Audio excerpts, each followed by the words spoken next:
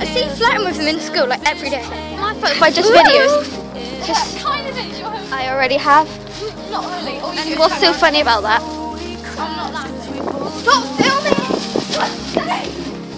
Oh my.